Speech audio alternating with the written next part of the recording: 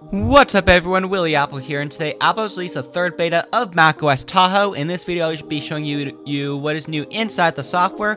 We've got quite a bit to talk about. Let's get started. On my M4 MacBook Air, it came in at 3.96 gigabytes, but this will depend depending on what version you're coming from, and if it needs to reinstall the entire software or not. Alright, what is new here inside Tahoe? The first thing you'll notice right here is that we got a brand new wallpaper. It should set itself by default, but this is what it looks like. It's basically just Lake Tahoe, which is really nice to see, as the rocks. It even has a screensaver that I can't show you on this video because of recording purposes, but it's overall just a very nice wallpaper to have.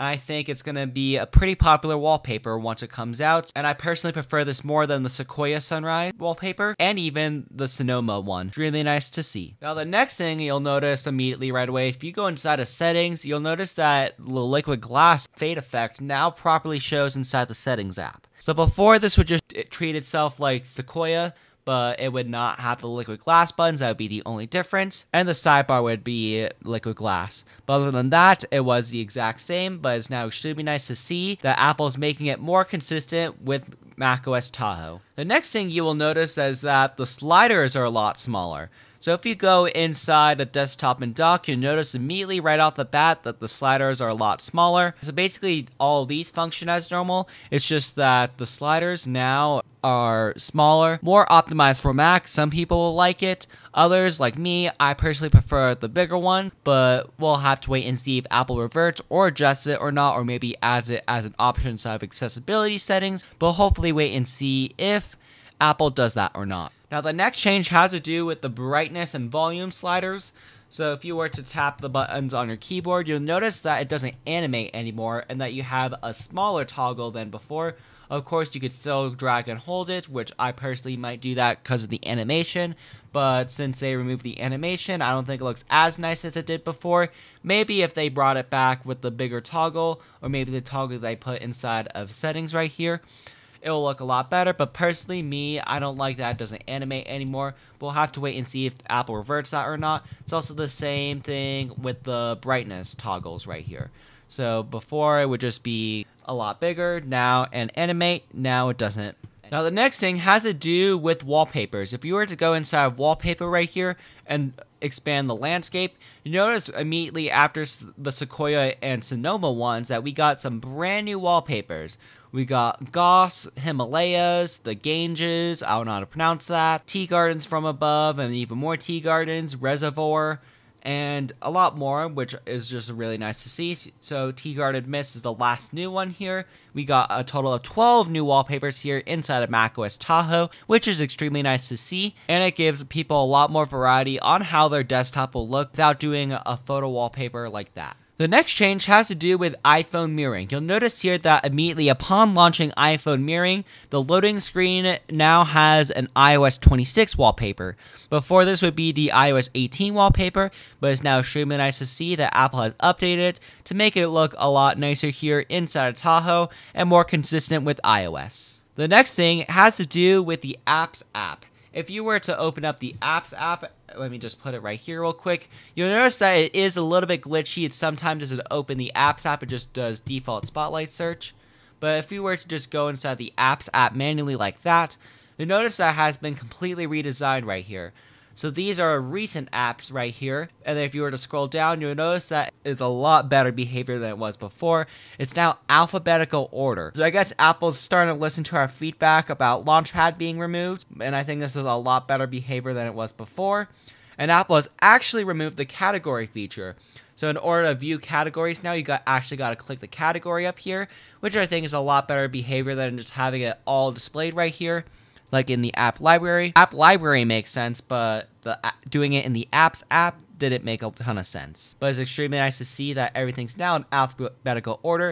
And you may notice here that show iPhone apps is now a thing. So if you were to turn show iPhone apps, it will just show all of your iPhone apps, which I think is a lot better behavior than before. Before, show iPhone apps was on by default and there was no way to turn it off. Now you can just turn it off, which I think a lot of people will be doing since all it does is just open up iPhone mirroring to begin with. But yeah, The apps app is definitely a lot better here inside of beta 3. I haven't decided if I'm going to try going back to Launchpad quite yet. Let me know down in the comments down below if they did patch the Launchpad hack.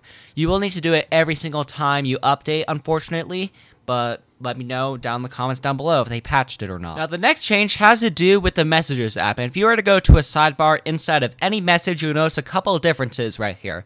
The first one is that the X button is now a thing, and this will just close the sidebar. And the next thing is that links is now hidden for whatever reason. So hopefully Apple brings that back. I have no idea why they would hide the links. It's pretty weird to see, but also a good note inside of beta 3 that they have affected it a little bit. You also notice that the toggles here now match the system. It is not liquid glass right now, as you can see right here, but it is still system consistent, but Apple still needs to adjust the toggles to make it liquid glass. I wonder if they need to do it across all the iOS apps ported to the Mac, or if it's just the Messages app. Before it would just look really bad and inconsistent, but now it is a lot more consistent. But inside of here, this was also changed. It doesn't have a background anymore and it's just more like the system now that you would expect inside of iOS. And if just clicking on it, automatically translate now has a drop down menu that looks a lot better. Now the next change has to do with the App Store. If you go inside the App Store right here, notice that it looks a hundred times better than it did in the previous two betas.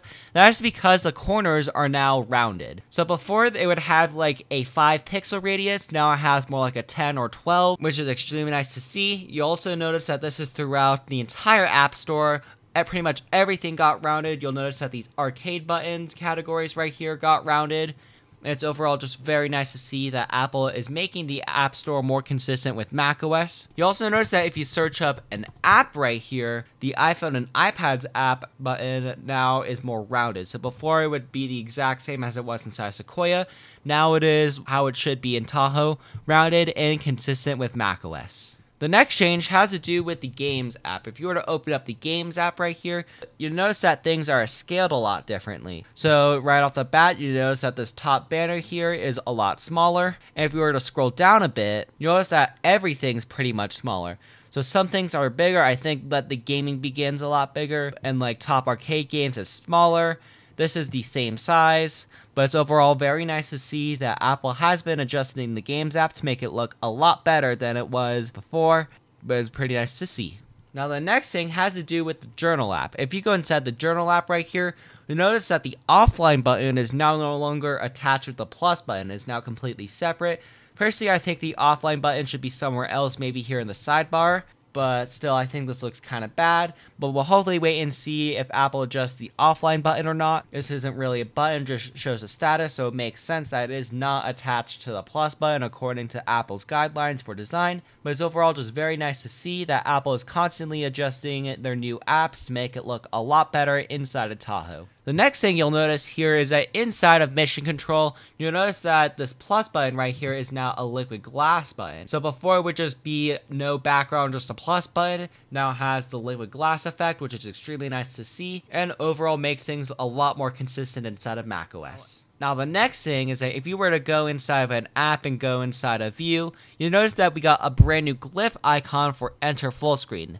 So before we did not have this glyph icon before, now we have this glyph icon, which makes it a lot more prominent that this means enter full screen than anything else. And I think Apple should constantly be adjusting these to make it look like they actually care about the glyph icons. Because so, I think this kind of looks pretty bad how it is right now. I think new window needs a new glyph icon, but hopefully Apple continues to add new glyph icons throughout the system and makes things look really nice. Anyways, that is everything I could spot inside of macOS Tahoe. Let me know down in the comments down below what you think of the software. And now let's talk about the Geekbench score. Inside of Beta 2 right here, you'll be noticing that the multi-score is 15306 and single core is 36903. Now I'm going to pull up the Geekbench score I did run right here, and you'll notice that it is 3669 and 15127. You'll notice that both of them are a little bit lower, which is unfortunate to see, but overall they're still pretty much tied. It could be that it was the system was too hot still. It overall feels a lot smoother, but we'll hopefully have to wait and see based on performance alone if beta 3. We did get a lot of changes here, probably more than beta 2, so performance could be dipped a little bit. but is also kind of a consequence of Beta 3 having a lot of changes, including a new wallpaper, which is really nice to see. Alright, the next thing that we're going to be talking about here is what is next for Apple. So I have a little July calendar right here. So today is July 7th.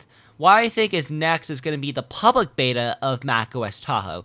We're going to get a smaller beta 3.5 most likely here on the 14th or the 15th, and then immediately after, Apple will be releasing the public beta to everyone. So what the public beta is, is that it is meant for anybody who is interested in helping the next macOS. So we're to get a lot of changes here, making it a lot smoother throughout the course of the next betas, and we'll hopefully go to a one week cycle after the 21st or the 28th. We'll have to wait and see if that's actually the case, but overall, macOS feels very stable, very smooth, and that I think we're to get the public beta here very shortly. Now, we do have a couple of visual bugs. These bugs have existed since beta 1. I forgot to report it, unfortunately. Don't make me a role model. Report your bugs inside the feedback app and report any suggestions inside the feedback app because if other people suggest, that means Apple will be constantly reading that. But overall, I expect the public beta to come next. Now, thanks for watching, comment, subscribe, share this with your friends, download my apps in the description down below, and I'll see you in my next video. Bye!